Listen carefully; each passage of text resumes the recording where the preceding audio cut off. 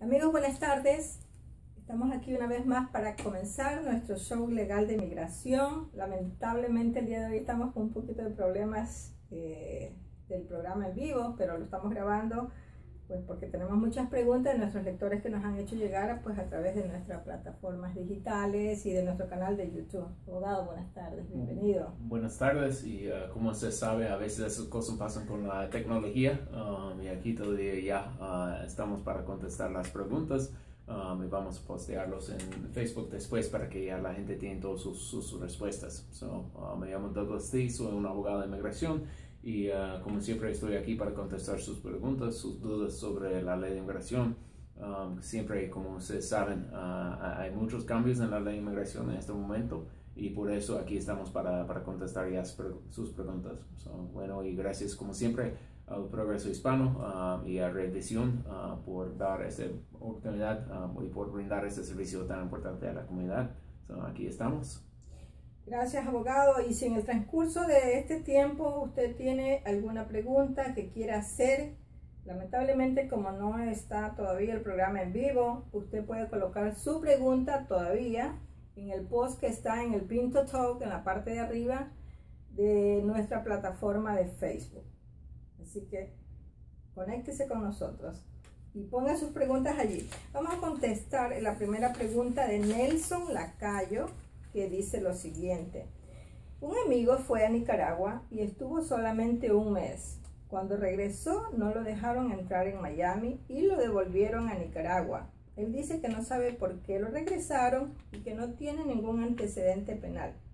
Él es residente permanente. ¿Qué puede hacer él? Bueno, gracias Nelson por esta pregunta. Um, y eso sinceramente es algo un, poco raro. Um, no sé por qué la inmigración regresó él a, Nicaragua. Um, eso es algo normalmente si alguien es presidente permanente de los Estados Unidos puede quedar fuera del país para, para bueno, hace como seis meses. Y, la inmigración dice que si alguien queda más de seis meses fuera del país, que ha, abandonado su residencia y la inmigración puede intentar quitar o terminar su residencia. Pero en esta situación, para el amigo de Nelson, solo ya pasó un mes fuera del país.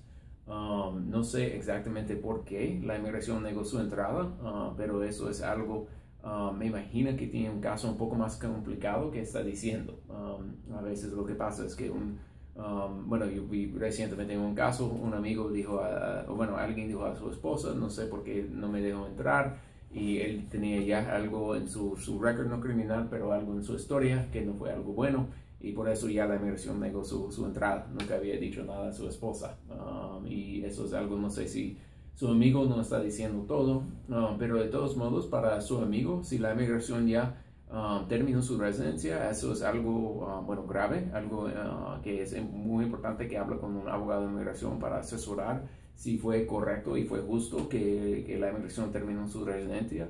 Um, si nos quiere llamar, usted puede llamarnos al 704-940-9128. El 704-940-9128.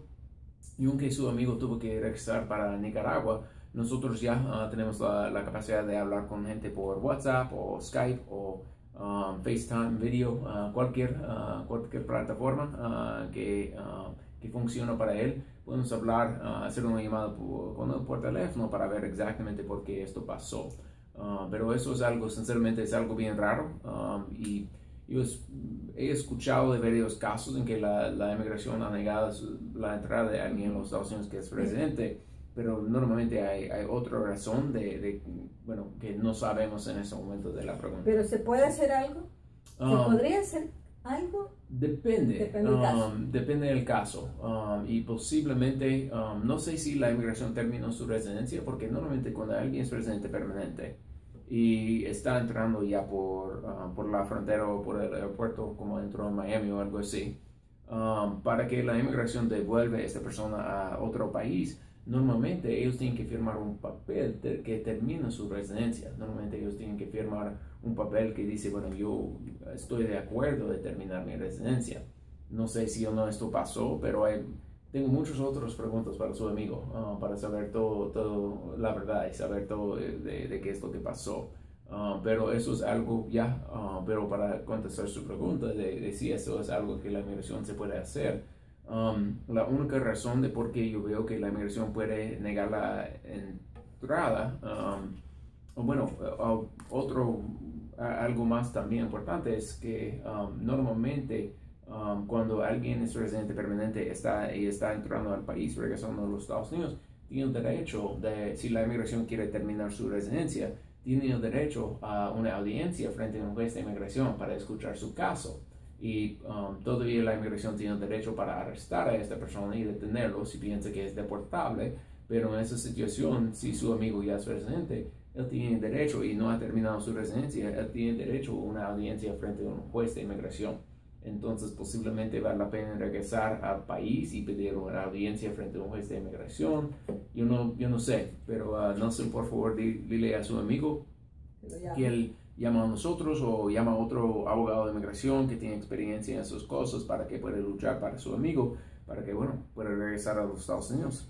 Lo siento que esto pasó a él. Me imagino que siempre cuando esto pasa es una experiencia bien traumática um, para, para, una persona. Porque, pues, según dice Nelson, que él no tiene ningún antecedente penal. no, sé, no, sé, no sé por qué. Uh, y eso es porque también siempre digo a, a, clientes cuando regresan a los Estados Unidos, Um, si son residentes o solo tienen una visa o, aún si son ciudadanos, tienen, tienen, que tener confianza en su caso, porque lo que puedes hacer es que la, um, bueno, la gente en las aduanas, uh, Customs and Border Protection, hay buena gente que trabaja para esta agencia, pero hay gente también que hacen trompas um, y, pues, trampas, gracias, trampas, no trampas, trampas, hay gente que hacen trampas y ya, uh, bueno, puede afectar a su caso para el resto de su vida y por eso es muy importante que cuando están regresando al país ya um, sabe cuáles son sus derechos, uh, cuál es el estatus que tiene y por qué ya tiene el derecho de venir a los Estados Unidos, por qué debe venir a los Estados Unidos.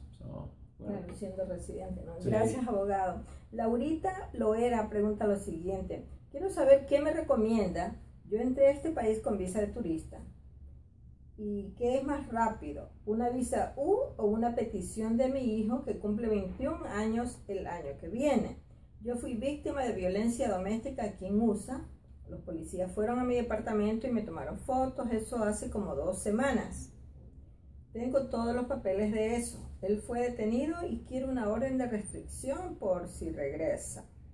Bueno, Gracias Lorita por su, su, pregunta y primero lo siento por, por lo que pasó de, de, la violencia doméstica. Um, eso es algo, algo horrible y um, desafortunadamente um, ya eso es algo que ha pasado a muchos, muchas personas, muchas mujeres um, y, lo siento por el incidente de, de violencia doméstica. pero eso es una buena, buena pregunta de qué sería la ruta más rápida para ella. la visa U o, la, um, o aplicar para la residencia por ruta de su hijo que va a cumplir 21 años y es ciudadano um, el año que viene. Um, para explicar un poco de las dos opciones, uh, primero es la opción de, de la residencia. si alguien es ciudadano de los Estados Unidos y tiene 21 años, puede hacer una petición para sus padres y en esta situación para la, la Rita, ella entró al país con la visa turista. Um, asumiendo que ella califica para la residencia, que ella no tiene historia criminal o um, no ayuda a nadie para entrar al país um, sin papeles o, bueno, varias otras preguntas, pero asumiendo que es elegible para la residencia, uh, ella puede aplicar para la residencia en cuanto su hijo ya cumple los 21 años. aquí en Charlotte, para el proceso desde cuando empieza hasta cuando tiene la tarjeta de la residencia en la mano, Um, estamos viendo un tiempo de, bueno, como 6, 8 meses, es posible un poco más uh, para recibir la residencia. Entonces, cuando su hijo cumple 21 años el año que viene, eso sería ya uh, buena posibilidad para ella. Um, otra vez, hay que hablar con un abogado de inmigración para asegurar que es elegible para la residencia antes de aplicar. Um, pero otra opción para ella también sería lo de la visa U. la visa U es algo Um, es un beneficio para gente que son víctimas de crímenes. Hay una lista de crímenes que califican. Um, es casi 40 crímenes, yo creo. Es una lista larga, pero son, por ejemplo, um, secuestro, violencia doméstica, asesino, violación, extorsión. Hay una lista larga de crímenes que pueden calificar. Y si alguien es víctima de un crimen, ayuda a la, a la policía o un fiscal, otro oficial, en la investigación del crimen y ha sufrido a causa de lo que pasó, puede aplicar para la visa U.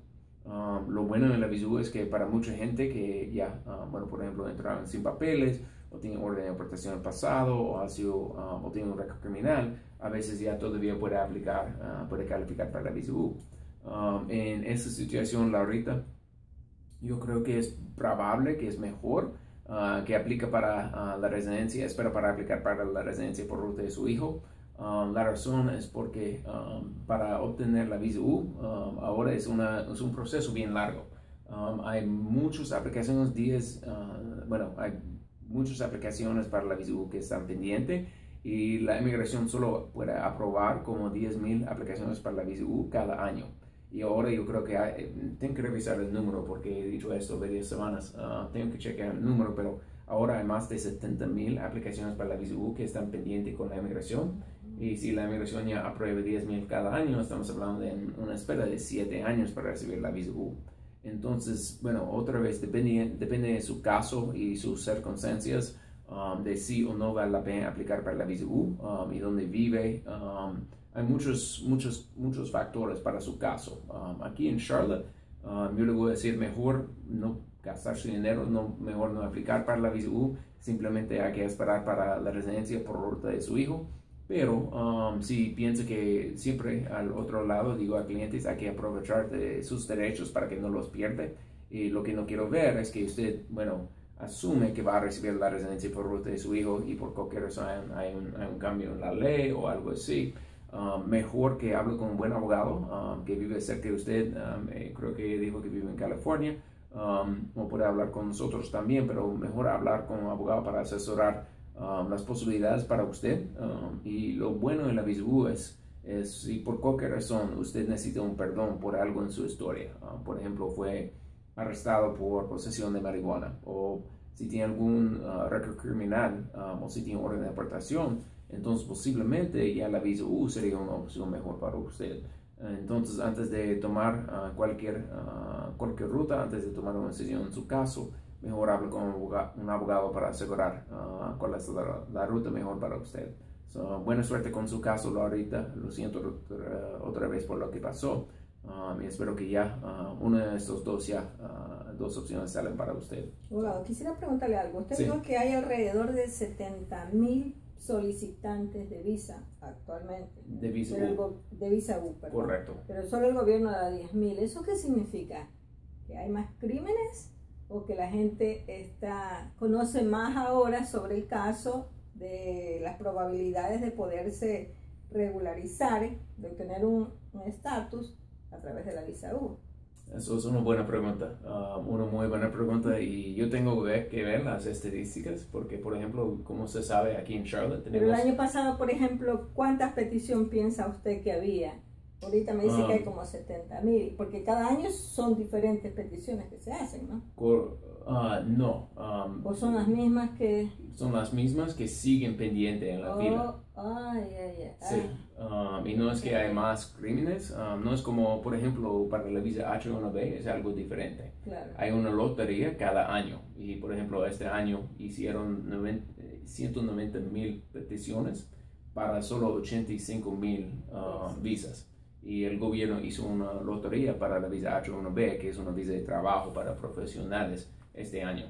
Um, esto es um, algo diferente de la visa U, no hay lotería, simplemente cuando lo manda, uh, tiene su... le toca, le toca. Sí, Tiene que esperar. Um, sí, y no creo que, bueno, aunque aquí en Charlotte hay más asesinos que en años pasados, ha sido más asesinos en Charlotte o en otras ciudades, no creo que está debido a, a a más, crímenes, ah, creo que es que más gente ya saben de la VISU.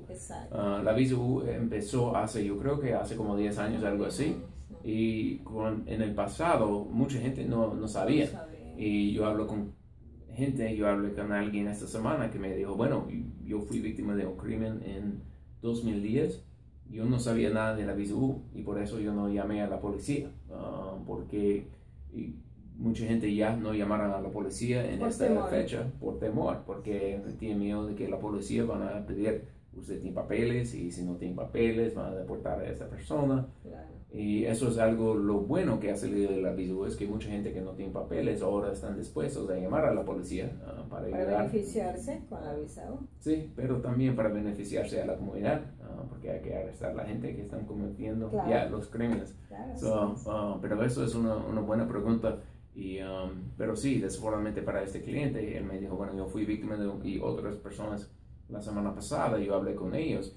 Ellos fueron víctimas de crímenes en 2009 Aquí en Charlotte. aquí en Charlotte y ellos me dijeron igual, no sabía um, de la visa U. Ellos llamaron a la policía, pero la policía de Charlotte han dicho para que ahora para muchos crímenes no van a firmar una certificación si el crimen pasó fuera de los últimos cinco años.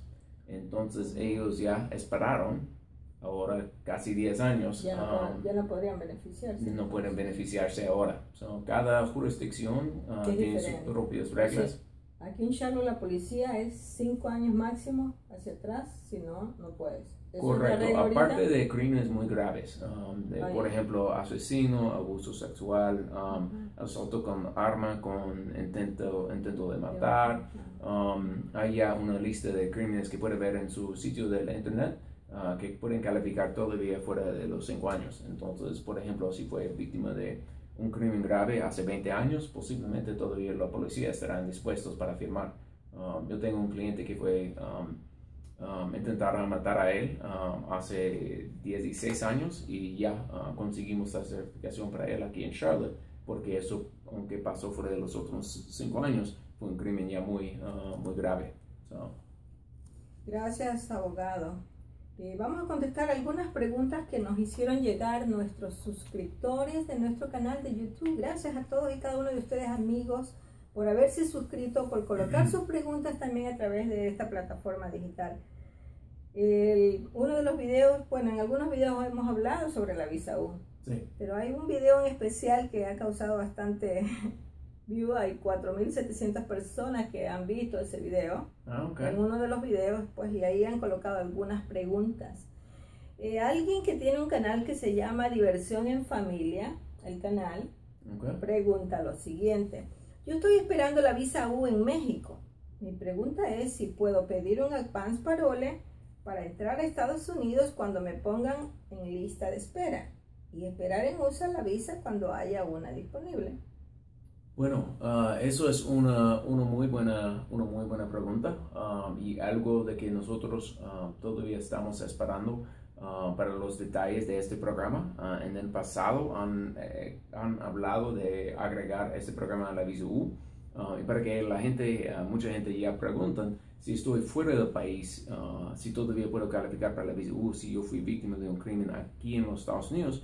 Y la respuesta es que sí, ah, todavía puede seguir en proceso para la visa U.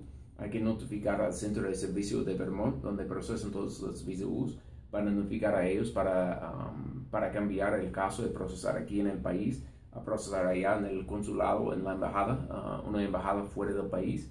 Um, pero todavía no hay um, un programa que permite que, que um, la gente ah, que están en la lista de esperar uh, o la lista de espera, lo siento, uh, para que ellos puedan regresar al país con un parole.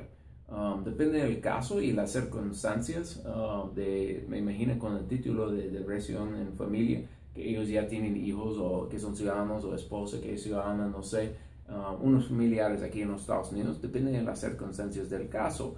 Uh, posiblemente vale la pena de, de aplicar para un parole, porque eso sería otra opción también um, es que puede intentar aplicar para lo que se llama parole humanitariana, um, humanitarian parole, y eso es un beneficio para la gente que, um, que tienen una razón uh, específica urgente de por qué necesitan venir al país. Uh, por ejemplo, yo tengo un cliente que su hija nació acá, pero y ella había salido del país, pero su hija ya necesitaba um, una cirugía uh, de cerebro. Um, um, que es, bueno, uh, una cir- cirugía de cerebro uh, muy, um, uh, muy especializada y para este cliente uh, aplicamos para un parole humanitariana para que ella pudiera regresar al país con su hija que es ciudadana para aplicar para, um, o para, um, para esa cirugía. Uh, entonces, eso es algo, si usted ya ah, está aprobado para, o si la inmigración le pone en, la, lista de espera, vale la pena hablar con un buen abogado para ver si uno usted puede solicitar un parole para regresar a los Estados Unidos y esperar hasta cuando la inmigración le da la visa So, eso es una buena pregunta y uh, buena suerte uh, ya con su caso. Gracias, abogado. Otro suscriptor del canal también en, aquí en este video colocó la siguiente pregunta. José Pina dice lo siguiente. Mi hija perdió su residencia porque se regresó a Perú a casarse y se quedó. Y tiene tres hijas. ¿Cómo puede recuperar su residencia? Ah, bueno, gracias José. Ah, eso es una buena pregunta y es algo, ah, bueno, difícil para ver cuando la gente, por cualquier razón, tiene un estatus legal aquí en los Estados Unidos, tiene una residencia, deciden que quiere regresar para otro o salir de los Estados Unidos y ir a otro país. Si queda más de seis meses fuera de los Estados Unidos, ya puede perder su residencia. y desfortunadamente, muchas veces no hay una ruta rápida para regresar a los Estados Unidos. Esto incluso pasó, um, yo tengo una tía de Japón y ella regresó para Japón, uh, pasó más de seis meses fuera del país y ya perdió su residencia. Uh, no es solo buenos clientes, ya para mí es, es familia, a uh, quien ha pasado también. Um, pero en esta situación, um, José, depende para su hija, o lo siento, no su hija, pero su hija. No sé, es la hija. no, Sé, no sé, José, si usted tiene un estatus legal Um, pero si usted ya es ciudadano de los Estados Unidos, asumiendo claro que su hija tiene más de 21 años porque ya tiene tres hijas, um, usted puede meter una solicitud, una petición para su hija. Si usted es residente, no se puede hacer una petición para su hija porque ella está casada, pero si usted es ciudadano de los Estados Unidos, José, o la mamá de ella es ciudadana de los Estados Unidos, puede meter otra petición para su hija. Um, y desafortunadamente la espera ya es larga para que regrese al país. Estamos mirando a la lista hoy día y para las peticiones para hijos que están casados, um, que tienen más de 21 años, uh, que tienen ya papás que son ciudadanos de los Estados Unidos en esta situación. Desafortunadamente la espera para, um, para, uh, para recibir la residencia bajo una petición familiar es como 15 años más o menos. La inmigración ahora está procesando peticiones de 2004. Entonces, bueno, mejor mandar una petición lo más pronto posible, la petición I-130 a la inmigración Ah, los honorarios del gobierno son 535. Uh, desfortunadamente no es, no es barata la petición, ah, pero es una petición que vale la pena mandar para que su hija ya pueda regresar a los Estados Unidos. Lo bueno es que si usted manda una petición para su hija, um, entonces um, um, sus tres hijas van ya incluidas en, en la petición, eh, entonces sus tres nietas en esa situación las tres van incluidas en la petición de su hija si las tres nietas tienen menos de 21 años. Ah, pero claro, todo esto es asumiendo que usted, José, ya es ciudadano de los Estados Unidos. antes de tomar cualquier paso, antes de tomar, ah, hacer cualquier cosa para el caso de su hija, vale la pena hablar con un abogado de inmigración para ver si hay otra ruta más rápida. no sé, bueno, cosas, no sé suficiente del caso de su hija. Ah, pero si usted quiere llamarnos aquí en la oficina es 704-940-9128, es 704-940-9128 y usted puede llamarnos para, um, ah, para una consulta para ver si cuál es, cuál es la ruta más rápida para su hija para regresar a, los Estados Unidos. buena suerte, señor José. Gracias, abogado. Eh, vamos a contestar otra pregunta de una persona también a través de nuestro canal, de Noemí Mejía, que pregunta lo siguiente. ¿Cómo hacer la petición de un hijastro? ¿Cuánto tiempo toma todo el proceso desde el momento que se mete la forma I-130? Bueno, gracias Noemi. Ah, eso es una, buena pregunta. Y muchas veces la gente, um, bueno, están mal informados y asumen que no se puede hacer una petición para un hijastro. Um, lo bueno y las buenas noticias es que ya se puede. Um, algo muy importante es que tienen que casarse uh, los papás um, antes de que el hijastro cumple los, los, los 191, 18 años. Um, perdón, pero eso se ha podido desde hace muchos años sí, atrás. hace muchos años atrás, sí. y por ejemplo, si alguien se casa con un ciudadano de los Estados Unidos y tiene una, una hija que tiene menos de 18 años, entonces puede hacer ya una petición para ese hijo o hijo que tiene Um, bueno, menos de 18 años cuando se casa. Um, si este hijastro está fuera del país y tiene menos de 21 años, entonces para uh, venir al país el proceso, yo digo que es rápido, uh, porque cualquier cosa en la, inmigración que dura menos de un año es algo rápido, uh, pero para que el, el hijastro viene al país es un proceso de como tres pasos. primero hay que hacer la petición I-130 para el hijastro. Um, desfortunadamente este proceso está un poco atrasado en este momento. Estamos viendo un tiempo de como 6 um, a 8 meses para la aprobación de la I-130, a veces un 10 meses. Um, el segundo paso es que debe aplicar para la visa inmigrante con el Centro de División Nacional. Para esto estamos viendo otro como 3, 4 meses y después va a tener, si nunca ha venido a los Estados Unidos, no necesito ningún perdón, Ah, va a ir a la entrevista en la embajada en su país. Ah, para México es Ciudad Juárez, para El Salvador está en San Salvador, ah, para Ecuador está en Guayaquil. Um, sí, el consulado. Pero bueno, cada país ya tiene una embajada diferente donde van a procesar las aplicaciones para la residencia. Eso sería el tercer paso. Para todo este proceso estamos hablando de como un año, un año y medio, depende de varios factores, de qué país, cómo rápido procesa la petición, si la inmigración puede procesar toda ah, la petición y todo sin pedir más pruebas, uh, varios factores. Pero bueno, el proceso dura más o menos un año hasta un año y medio. Um, si el hijo ya, el hijastro está aquí en el país y entra al país ya legal, uh, con visa turista o algo así, entonces puede aplicar para la residencia aquí. Um, para recibir la residencia sería algo mucho más rápido, como 6-8 meses, y puede meter la solicitud de la I-130 junto con la aplicación para la residencia. Ah, pero es algo que antes de tomar ah, cualquier, um, um, antes de empezar el caso del, del, hijastro, vale la pena hablar con un abogado para asegurar que el hijastro ya es elegible um, y para saber cómo va a ir el proceso. buena suerte con este caso. Gracias, abogado. Juan Francisco Ruiz pregunta lo siguiente. Tengo casi 30 años en este país. Entré brincando la frontera. Mi hija ya tiene 20 años y mi hijo 18, ambos ciudadanos. ¿Existe algún camino para legalizarme?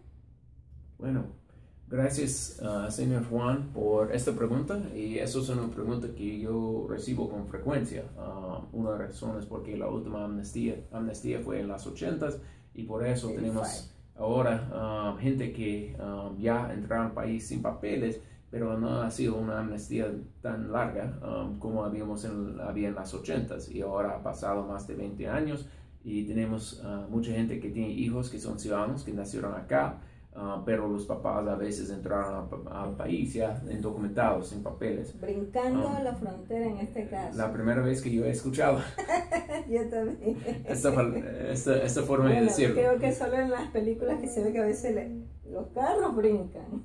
Interesante, interesante. Uh, pero he escuchado muchas formas de, de, decirlo, pero creo que eso es la primera vez brincando. So, um, Ah, pero bueno, en general, y, Juan, um, en general, si alguien entra al país sin papeles, um, no es elegible para aplicar para la residencia aquí dentro del país. Um, pero hay varias excepciones y vale la pena hablar con un abogado para ver si usted puede calificar para una excepción. Uh, por ejemplo, hay la 245I y si alguien hizo una petición para usted para la residencia, una petición por ruta de trabajo, por ruta de la familia, antes del 30 de abril de 2001, entonces posiblemente usted puede calificar bajo la, 245I. Otro, otra posibilidad es si su hija o su hijo están pensando en entrar a las Fuerzas Armadas de los Estados Unidos, ellos pueden aplicar para un parole para usted. Um, y si usted recibe el parole, entonces después puede aplicar para la residencia. Um, otra, otra posibilidad um, sería tengo que pensar en qué sería otra posibilidad. Cuando cumple 21 ah. años. Ah, pero el problema de esto es que entró... ¿Pero um, tendría que salir del país o qué? Correcto. Sí lo pueden pedir, ¿no es cierto? Sí. Si no, que le caería la ley. Sí, um, y, sí, y eso es algo muy significante, es que si... Um, y no hay perdón para bajo la ley de 10 años para hijo a padre. Ah, y eso siempre no hay perdón para hijo a padre. Pero si hay otras rutas de Correcto, entonces una ruta sería la 245i, otra ruta sería el parole, Um, otra ruta um, y alguna otra posibilidad, y vale la pena hablar con un abogado sobre esto, es si um, bajo la ley, desfortunadamente, no hay perdón para hijo a padre. Y, por ejemplo, si entro al país sin papeles, la única opción para arreglar papeles es salir del país. El problema es que si alguien está aquí para más de un año indocumentado, más de un año sin papeles, como ha estado el señor Juan, el problema es que el momento en que sale del país va a tener un castigo de 10 años y no hay perdón de hijo a padre. Pero si, si Juan tiene padres que tienen papeles, ah, por ejemplo, ah, si su papá o su mamá es residente permanente o ciudadano de los Estados Unidos, entonces posiblemente usted puede calificar para un perdón por ruta de ellos y una petición por ruta de sus hijos, uh, sus hijos um, y su hija ya cuando cumple los 21 años. So, esto es una, una buena pregunta, um, señor Juan, y uh, cada caso, siempre yo digo a clientes, cada caso es distinto. Vale la pena hablar con un abogado para ver si uno usted puede calificar para la residencia. So, uh, muchas veces también la gente me, me pregunta en la ley de 10 años, pero aunque llevo muchos años aquí en el país, solo puede calificar para la ley de 10 años, lo que se llama cancelación de deportación, si tiene procedimientos de deportación. Um, y eso es algo claro. No quiere luchar esto. Uh, mejor que uh, hable con un abogado para ver si hay otras posibilidades.